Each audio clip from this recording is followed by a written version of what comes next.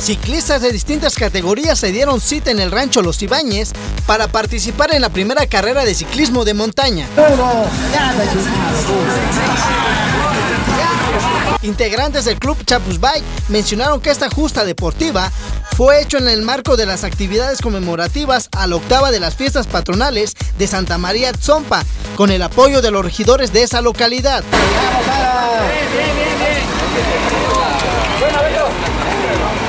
En esta actividad del pedal, los participantes recorrieron 3 y 5 vueltas la pista de campo traviesa que mide cerca de 5.7 kilómetros y se repartieron cerca de 10 mil pesos entre los tres primeros lugares de cada categoría. Es así como se llevó a cabo esta carrera como parte de los festejos de Atzompa.